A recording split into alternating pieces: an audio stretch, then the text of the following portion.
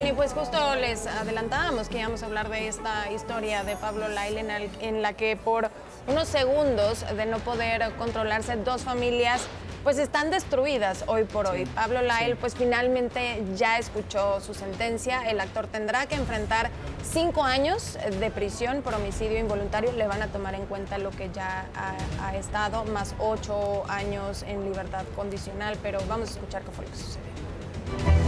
Pablo Lyle recibió su sentencia en la Corte de Miami por homicidio involuntario. Esto a casi cuatro años del proceso legal que enfrentó, tras golpear a un hombre en 2019 quien falleció días después. En voz de la jueza Marisa Tinkler Méndez, el actor fue condenado a cinco años en la cárcel estatal y a ocho más en libertad condicional. Por lo tanto, la Corte sentencia al señor Lyle a un periodo de cinco años en prisión estatal, seguidos por un periodo de ocho años de libertad condicional. El señor Lyle tendrá que someterse a clases, tomar clases de resolución de conflictos y manejo de la ira. También se le va a requerir al señor Lyle que preste 100 horas de servicio comunitario. La jueza hizo hincapié en que la corte determinó que el puñetazo que Pablo dio al señor Ricardo Hernández sí fue un acto de violencia, pese a la defensa que alegó en varias ocasiones que el suceso fue motivado por el instinto de defender a su familia. Yo no creo que este es el Pablo Lyle, el verdadero carácter de Pablo Lyle. Pero lo fue ese día. Lo que hizo el señor Lyle fue un acto de violencia. Durante la audiencia, Pablo Lyle se dirigió a la familia del señor Juan Ricardo Hernández y les pidió perdón. Se prestó la disculpa más sincera que he ofrecido en mi vida. Con todo mi corazón. Lo siento mucho. Soy Marco Mejía. La vida brilla más cuando sale el sol.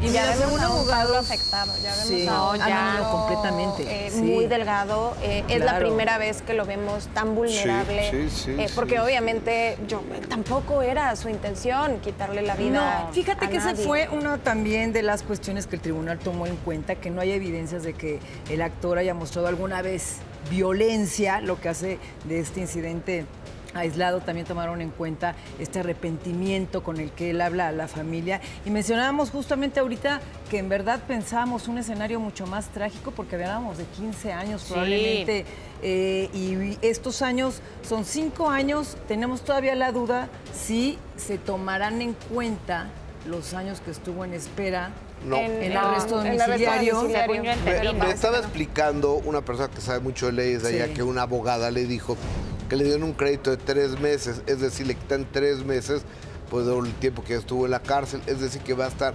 cuatro años con nueve meses encarcelado. Sí, bueno, ya dependerá del buen comportamiento, que todo eso lo toman en cuenta en, en Estados Unidos. Sin embargo, sí, eh, también ha dividido mucho esta situación de que para Sí. algunos es injusto, para algunos es justo. Eh, yo creo que son las autoridades las que, las que deciden. Sí. Aquí lo hemos dicho, hay dos familias destruidas, pero además viene la, la demanda civil que esa también va en contra del cuñado de Pablo Lyle, en donde la familia de Juan Ricardo Hernández efectivamente quiere dinero, porque la civil te dan una reparación del daño. Exacto, ocho años de libertad Lucas Delfino. condicional. Lucas Delfino. Sí. Lucas Delfino. Y El cuñado. bueno, Cuñado, también tiene sí. que tomar clases de resolución de conflictos y manejo de ira, lo que hablábamos también de lo que te decía de, por ejemplo, de Alfredo Adame. Él sí, pero Adame no necesita. ¿Quién? Adame no necesita. Ah, bueno, pues no necesita.